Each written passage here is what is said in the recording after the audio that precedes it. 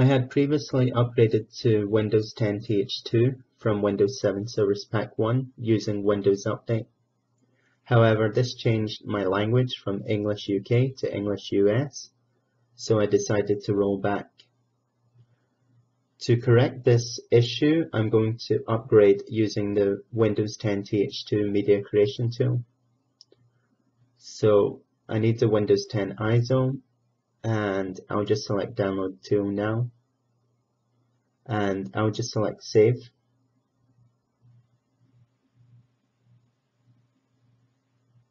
And then I'll select run.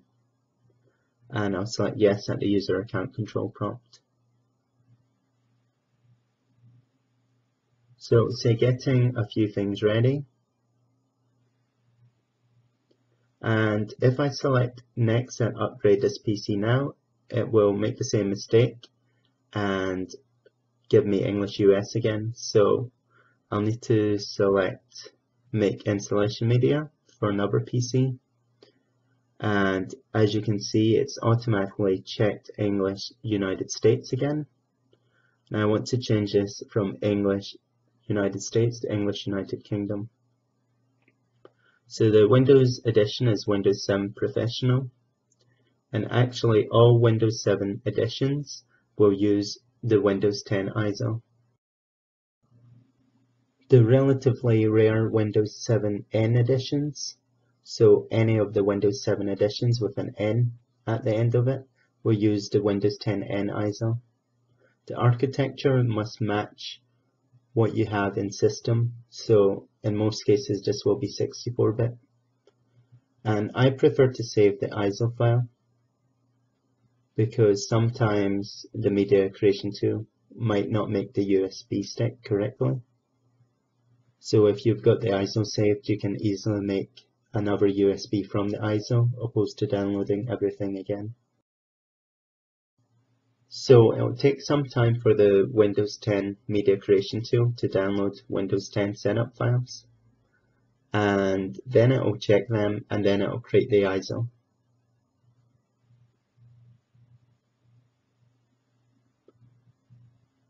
And then it will instruct you to burn the ISO to a DVD, which is complete nonsense. So just ignore this and select finish. One of the biggest problems with Windows installation is when people download an ISO and they burn the DVD incorrectly. Moreover, most modern systems are shipped without an optical drive, so burning a DVD is problematic. Also, installing from a USB is faster and it's more reliable. It's faster to copy the files to the USB and it's faster to copy the files from the USB. And also, if you're using a UEFI BIOS, you're going to want to use a USB. So we're just going to download a program called Rufus. And the first thing we're going to do is load the ISO. And we're going to check that our USB is loaded as the device. And we're just going to select Start now the partition scheme we're using is GPT partition scheme for UEFI. Now for an older computer you might want to change the partition scheme to MBR partition scheme for UEFI BIOS or legacy BIOS.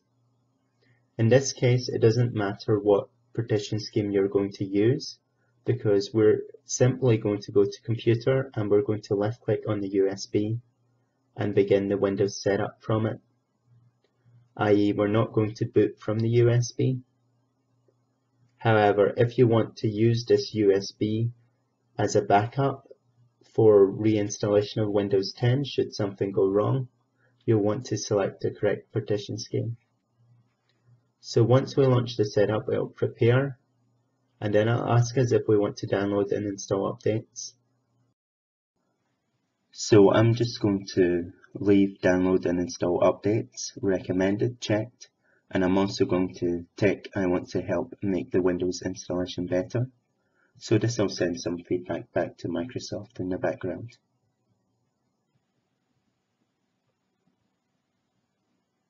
And now it will check my PC and then it'll get a few things ready. It will take me to license agreement screen, so I'll just select accept. Now check for the updates. And now I'll get a warning that my display language is going to be changed. For Windows 7 installation, English contain both English US and English UK.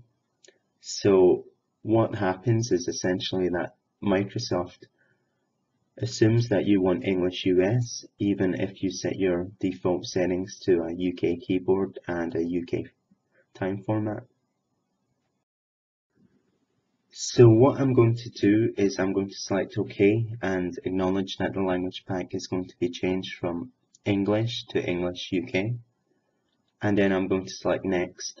And now the installation of Windows 10 will proceed. So you'll just see installing Windows 10 and then you'll see a percentage. So this screen, it's got a different user interface but it's identical to the installing Windows 10 part from Windows Update. And now the rest of the install will be identical. So we'll see Windows 7 is shutting down. See a black screen for a moment. We'll see the Dell BIOS screen. And then we'll see another black screen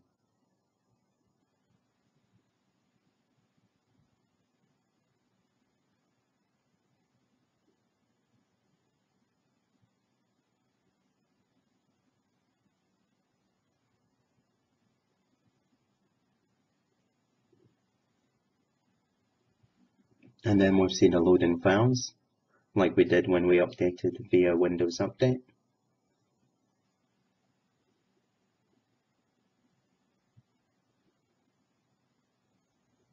And now we'll see the upgrading Windows screen.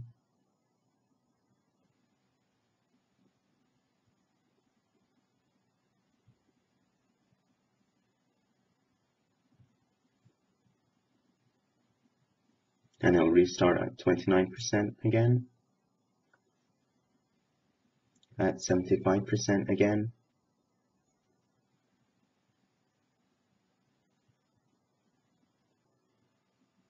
and then finally the upgrading Windows will proceed until it reaches 100%. After it reaches 100%, we'll get the same options we did when we upgraded from Windows Update.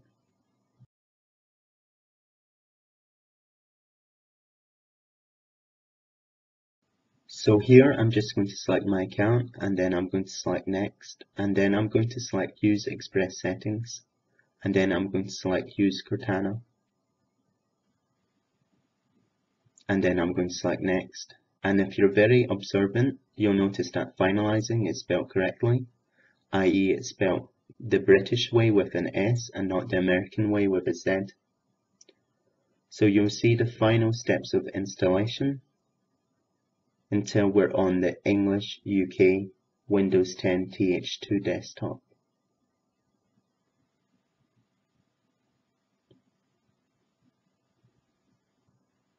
So we'll get the exact same series of notifications that we got before about apps being no longer available.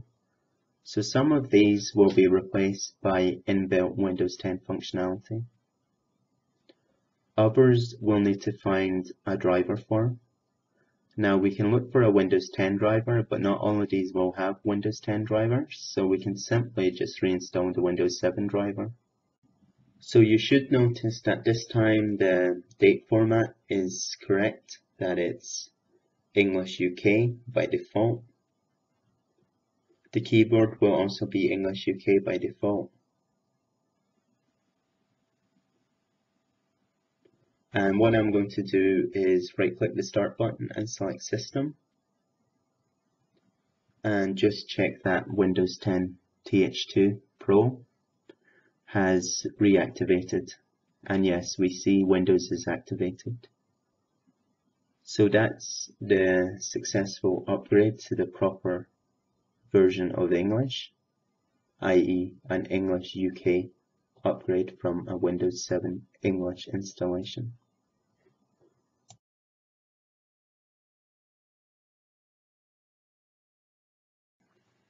And finally, what I'm going to do is just right click the desktop and I'm going to highlight the word personalize.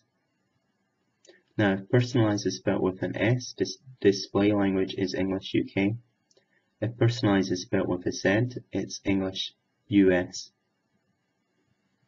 As you can see, mine's is spelled with an S, so I'm happily on English UK.